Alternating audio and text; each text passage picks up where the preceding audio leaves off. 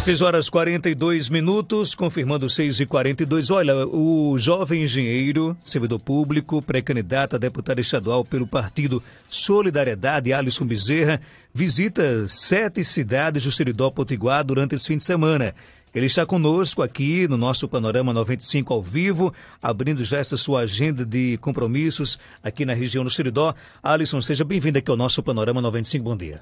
Bom dia, Marcos Dantas. Bom dia a todos que estão escutando aqui no Seridó. É um prazer muito grande estar visitando a região e a poder conversar com vocês. O, como é que vai ser a sua agenda hoje? Você vai visitar sete cidades aqui na região do Seridó, começando por Caicó? Exatamente. Começando por Caicó, que é uma das cidades mais importantes da região. É uma, da, uma cidade mais importante do estado do Rio Grande do Norte, uma das maiores cidades. É uma cidade onde a gente sabe que a economia é muito forte, a cultura é muito forte, o povo o povo se identifica bastante com a região, com o estado. Então, iniciando a nossa agenda por Caicó, hoje teremos muitas é, visitas, reuniões, conversas, e à noite teremos um evento na Câmara Municipal. À noite vamos estar conversando com, é, com a gente, apresentando algumas ideias, algumas propostas, tanto nossas quanto também do Partido Solidariedade. E quem é que é convidado para esse evento de hoje à noite? Qualquer pessoa que tem interesse em conhecer um pouco o projeto de sua pré-candidatura do próprio Partido de Solidariedade? Olha, Marcos, eu tenho colocado que todos aqueles que estão nesse momento político hoje e que querem de fato mudança, que querem alternância, né, que querem de fato renovação, estão convidados. Jovens, nós temos feito um trabalho muito forte para a juventude, mostrando que ser jovem é também participar da política. Nós temos mostrado também para as pessoas, eu tenho feito um trabalho como servidor da Universidade Federal, como presidente do Sindicato de Servidores, para os aposentados. Né? Então, aqueles que, os pais de família, mãe de família, jovens, participem hoje na Câmara Municipal, a partir das 19 horas, será um encontro, será um, um momento de reunião, de conversa, para discutirmos o estado do Rio Grande do Norte, para discutirmos o Seridó. O Seridó é uma região peculiar do nosso estado. Nós temos que discutir como tal, e nós escolhemos aqui a, a cidade de Caicó, para fazer essa discussão hoje às 19 horas na Câmara Municipal. Você acha que essa necessidade de se, discutir o, Rio, o, nosso Estado fez com que você, um jovem de 26 anos, apostasse na política? Você acha que através da política a gente consegue realmente mudar esses destinos? Com certeza. O que eu tenho colocado é o seguinte: nós estamos muito revoltados com a política. Toda a população do Rio Grande do Norte, do país, está revoltada com a política. Isso é um reflexo que a gente sente na rua, nós Mas sentimos nas resolve, pesquisas. Né? Não resolve. Não adianta ter a insatisfação se você não tiver ação de mudar. Se você não tiver ação de fato de se colocar no fronte e em busca de, alternância, de, de, mudança. Né? Então, por isso que nós colocamos o nosso projeto né, de uma pré-candidatura a deputado estadual. É, tenho 26 anos, sou de Mossoró, nasci em Mossoró, mas a minha família, os meus bisavós são daqui da região, são daqui do Seridó. Então, eu, nós colocamos esse projeto, Marcos, na universidade, eu sou servidor da UFESA desde os 20 anos, passei no concurso da UFESA é, aos, aos, aos 20 anos. Lá na UFESA também eu fiz engenharia civil, fiz um mestrado, me especializei fora. Então, é, lá na UFESA também sou, pre, sou presidente do Sindicato dos Servidores, então nós temos um trabalho em todas as cidades onde tem UFESA. Né? E sou também conselheiro da universidade. São dois cargos eleitos. Então nós já temos, mesmo aos 26 anos, uma, uma certa uma, uma certa colocação para a gente estar, nesse momento, vamos disputar o mandato de deputado estadual. Eu tenho colocado para as pessoas que participem, não vamos se omitir. Se a gente se omitir, se a gente não quiser participar é, da cena política, nós vamos ser governados por aqueles que estão maltratando nosso povo. Nós vamos estar sendo, mal, sendo, sendo maltratados por aqueles. Por isso que eu me coloco na posição como pré-candidato a deputado estadual e tenho convidado pessoas convidado pessoas a conhecer o projeto, a participar e a saber. Eu não aceito dizer, alguém dizer que no estado do Rio Grande do Norte nós não temos chance de mudança. Nós temos. Nós temos excelentes nomes que podemos sim mudar. Agora, o que nós não podemos é ficar na situação somente com inconformismo, somente com a revolta, com a, é, sendo desestimulados e continuar parados. É isso que a classe política do Rio Grande do Norte quer. É que a população fique somente com raiva e não vá às urnas. Eu faço um convite diferente. Eu digo, vamos para as urnas, vamos mudar. Você deixou bem claro aí que esse, esse sentimento da população de um descrédito geral é, na, na política, eu acho não na política, mas nos políticos brasileiros, né? E, por exemplo, eu acho que o, fica até difícil você eleger um critério é, para escolher um partido a qual você vai se filiar, porque hoje praticamente todos os partidos se envolvem com corrupção. O próprio Solidariedade, nós temos exemplos de pessoas que estão em delação premiada. Porque qual foi o critério que você usou para escolher realmente o Solidariedade? Pronto, eu não acredito em partidos. Sou sendo bem sincero com você, que é um pouco da sua fala que você estava iniciando, porque a população brasileira mostra que ela não acredita nos partidos. Eu acredito em pessoas e acredito em projetos. Agora, nós necessitamos do partido para desenvolver esse projeto. E no estado do Rio Grande do Norte, nós temos um partido que de fato está desenvolvendo um projeto para o Estado, que é o Solidariedade. Nós fomos procurados por oito partidos políticos. Oito partidos políticos de, de caciques, que inclusive sentaram com a gente, foram até Mossoró, apresentaram o projeto, queriam que nós fizemos parte do projeto. Mas muito queriam, muitos queriam entrar na universidade, querem que eu desse espaço a eles na, na universidade. E isso eu não topei. Então fomos procurar por esses partidos, mas o Partido Solidariedade chegou de uma forma diferente. O presidente Kebs, quando conversou com a gente lá em, lá em Mossoró, ele colocou de uma forma, de uma forma muito sincera como era a situação do partido no Estado, com relação a questões financeiras, questão de legenda, e nós, depois de uma discussão com o nosso grupo, resolvemos ir para o Partido Solidariedade, que de fato esse ano tem um projeto diferente para o Estado. O Partido Solidariedade tem candidato, terá candidato a governador do Estado. O Partido Solidariedade terá candidato a senador, que é a, a Magnólia Figueiredo, atleta nós teremos uma chapa fechada para deputado estadual, nós teremos uma chapa em formação para deputado federal. Então o Partido Solidariedade terá condições sim de eleger um deputado federal, de eleger três deputados estaduais. É um projeto animador. E nós estamos vendo também, é, através do, do presidente Kelps, que o, o, o Solidariedade no estado do Rio Grande do Norte tem uma boa aceitação. É isso que nós queremos. Nós não poderíamos ir para a rua, aqui no estado, porque a eleição ela é estadual, é uma eleição estadual, é também nacional, mas estamos falando de uma eleição estadual. Não poderia ir eu, um jovem de 26 anos, para a rua, filiado a um partido daqueles grandes caciques que estão lá, que são oligarcas, que não dão chance que eu, que sou filho de uma Maria, que sou filho de um José, como muitos que estão me escutando agora, pudesse chegar e se colocar como pré-candidato. Eu digo isso porque muitos dos partidos, Marcos, que nos procuraram, acabaram de vender as legendas para o governo. Muitos dos partidos que nos ofereceram espaço, legenda, oportunidade, acabaram de se vender para o governo em troca de cargos, em troca de indicações, de secretarias. Eu quero dar um aviso a esses partidos e dizer também: a farra está acabando até o, final, até, até o final de dezembro. E aí? Vamos iniciar um novo, um novo ano. Mas só vamos iniciar um novo ano com aqueles que o povo resolver colocar no dia 7 de outubro. Então é um projeto animador eu me sinto muito vocacionado, me sinto, me sinto realmente pronto para levar esse projeto às ruas, continuar rodando o estado do Rio Grande do Norte com a nossa chamada Rota da Mudança. O, o Alisson, é, até pouco tempo, é, por exemplo, um sinônimo de, de, de experiência é, pra, e de preparo na política era, era quem estava aí na, é, no seu mandato, a, a, com vários mandatos nas costas, mas isso aos poucos está mudando. As pessoas é, perceberam que nem sempre três, quatro mandatos é, eletivos, isso é sinônimo de competência, porque hoje nós temos aí no nosso estado pessoas que estão há vários anos na política e infelizmente decepcionaram. Como é que você vai fazer, é, uma pessoa jovem com 26 anos, para convencer de que realmente você está preparado para assumir uma vaga na Assembleia? Eu vou falar a realidade, sabe, Marcos? Vou falar a realidade de uma forma muito clara. Eu vim ontem de Jucurutu para de Jucurutu para cá, para Caicó. A estrada, a é RN, deplorável. Conseguiu chegar em Caicó, graças a Deus, né? Graças a Deus chegamos, mas depois de muita luta. Gastamos mais que o dobro do tempo que era necessário para chegar. Eu pergunto, Será que a população do Rio Grande do Norte está satisfeita com essa classe política? Aqueles que estão há 20, 30, 40 anos de mandato? Aqueles que já foram, sena, já foram governador, já foram senador? Aqueles que estão lá há nove mandatos dentro da, Assembleia, dentro da Assembleia do Estado? A população está satisfeita? Eu quero dizer a população. Essa estrada de Jucurutu para Caicó está dessa forma, porque infelizmente políticos da região, políticos do Estado, porque é um problema estadual, é uma região importante do nosso Estado, não estão realmente preocupados com o nosso povo. Estão preocupados é, loteamento de cargos. Marcos, o povo está sabendo o que está acontecendo hoje no Rio Grande do Norte. O governador foi eleito com seis deputados estaduais ao seu lado. Hoje ele tem mais de 20. Por quê? Porque o governo é bom? Porque o governo conseguiu melhorar o Estado? Porque o, o, o governo resolveu investir em infraestrutura? Não porque o governo está loteando, dividindo, vendendo o Estado, dando o Estado a esses deputados em busca da reeleição. Então, eu particularmente tenho dito às pessoas, olha, vamos, vamos, temos que mudar, é um voto faxina, Marcos. Tem, nós temos aí diversas pessoas boas que estão se colocando. É um voto faxina. É uma, uma limpeza. Nós não podemos, nesse ano de 2018, pensar que político bom é aquele que está há 40 anos. Não. O político que está há 40 anos lá, infelizmente, não está resolvendo os, os problemas do Rio Grande do Norte. para isso não está resolvendo, nós temos que mudar. É assim numa empresa.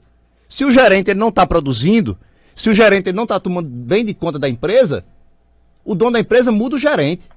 Por que não na política também? Na política em si, na mesma, da mesma situação. Então, eu volto a dizer, esse problema que, nós, que eu enfrentei ontem, que eu tinha vindo aqui, eu tinha vindo aqui há, há alguns meses atrás, mas antes do inverno. Não estava nessa. A estrada estava ruim, mas não nessa situação. Agora a estrada, a estrada está caótica. E cadê a solução? O que é que estão fazendo? Eu não estou falando simplesmente de chamar uma audiência pública, de, de chegar com requerimento, não. Nós temos deputados na região. Cadê as emendas destinadas para cá, para se consertar essa estrada? Vamos trazer. Será que o governador do estado nunca veio de Jucurutu para cá? Será que os polícias não estão andando nessa estrada? Marcos, a, os políticos que estão lá, eu tenho dito isso, a nossa classe política é muito fraca. Nós temos ex-ministro da Previdência até recentemente, nós temos presidente do Congresso Nacional até recentemente, presidente da Câmara até recentemente, presidente de grandes partidos a nível nacional. O que é que esses políticos têm feito pelo nosso povo, Marcos? Você acha que o nosso Estado teve tudo para avançar e não conseguiu avançar? Nosso Estado teve tudo para avançar, nosso Estado teve tudo para crescer. Porque eu tenho, eu tenho sempre dito, vou falar aqui da região, da região do Seridó. Uma região rica, uma região peculiar. A região daqui do Seridó, eu comparo a região sul do país, que eu tive a oportunidade de ir diversas vezes. É uma região que se identifica com a, com a localização, uma região que se, se identifica com a geografia, com a cultura, com a economia. Aqui nós temos uma. O povo daqui é vocacionado para a área têxtil. Cadê os investimentos para a área têxtil aqui, aqui na, na, nossa, na nossa região aqui do Seridó? Marcos, nosso estado teve tudo para crescer. Infelizmente, nós éramos, nós éramos atrás da Paraíba, ou melhor, nós éramos na frente da Paraíba. Hoje a Paraíba está avançando e deixando o Rio Grande do Norte para trás. Que é a prova, vá na divisa do estado em muitas das cidades. Você vai ver a, as RNs. Você chega na RN do Rio Grande do Norte, é essa estrada que nós vimos de Jucurutu para Caicó. Quando você passa a fronteira, é uma estrada nova, é uma estrada com, a, é, com acostamento, bem sinalizada. Nós temos o Ceará que já passou o nosso estado há muito tempo estão duplicando, estão duplicando, finalizando a, a duplicação da CEEC, que sai do nosso estado, né, que chega ao nosso estado, vai até Fortaleza.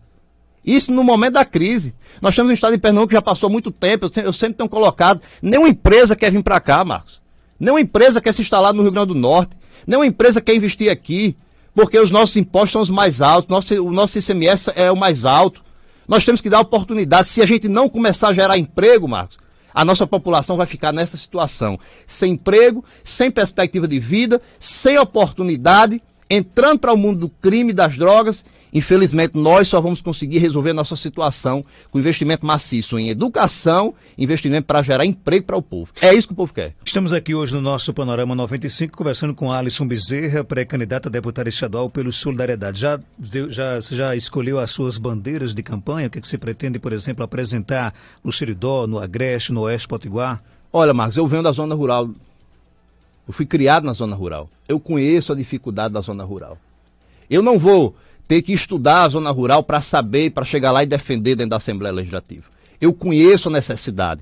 Eu sei da necessidade da zona rural. É uma coisa que nós vamos defender e defender a fim. Nós temos uma grande população rural aqui no nosso estado. É uma população, Marco, que quer produzir.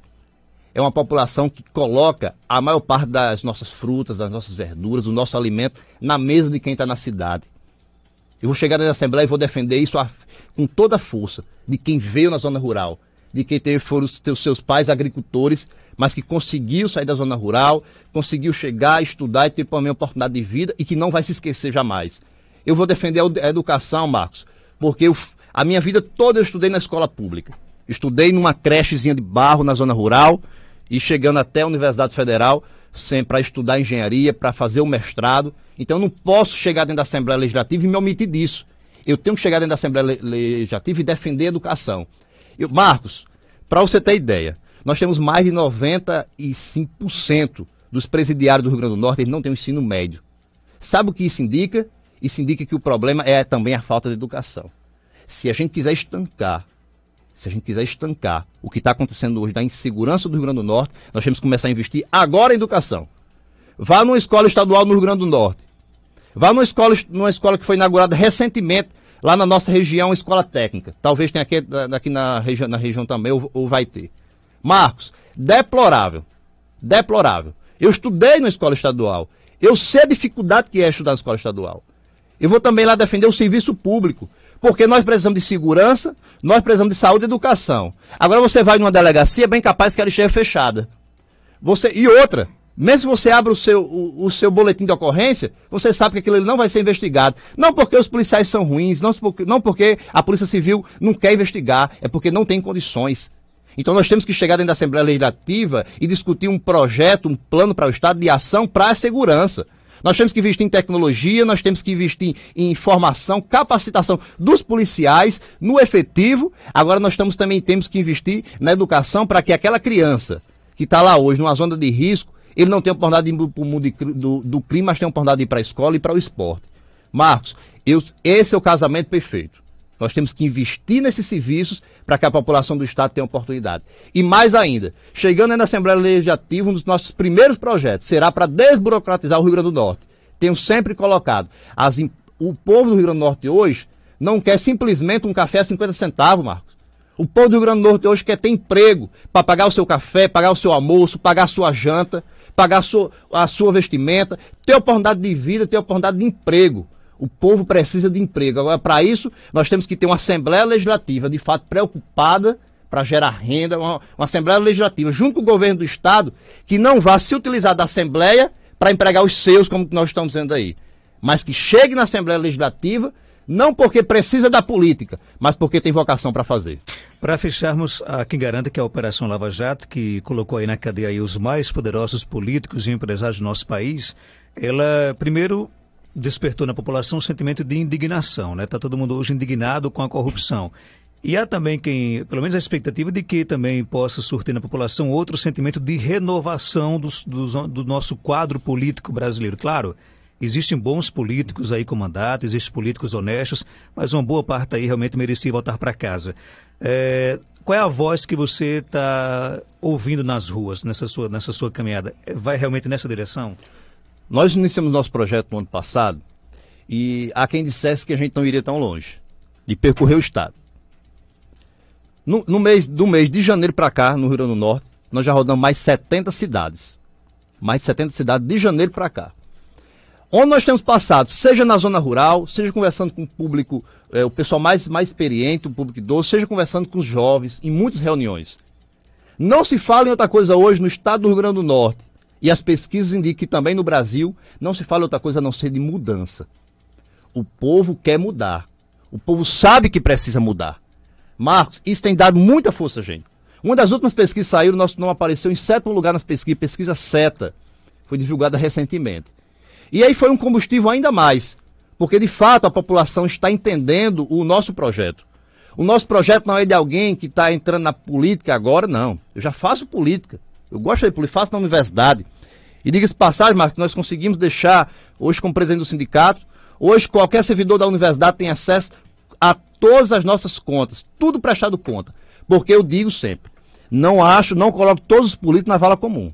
Há políticos sim no nosso estado e eu acompanho muitos, que de fato faz um grande mandato, um mandato de ação, um mandato próximo da população, e é esse o nosso propósito. Então, o que nós temos escutado nas ruas, o que nós temos escutado rodando o estado do Rio Grande do Norte, é que a população de fato quer mudança, é de fato que a população não quer mais continuar com essa velha classe política que aí está, e aí nós temos que ver as opções que nós temos. Então, mas eu quero agradecer aqui o espaço que você tem nos, nos colocado aqui também, dizer a toda a região do Seridó, eh, os meus avós são filhos, filhos aqui da, da região, por isso que chegando na Assembleia Legislativa, não é porque eu sou de outra região que eu não vou deixar, chegar lá e defender o seridó.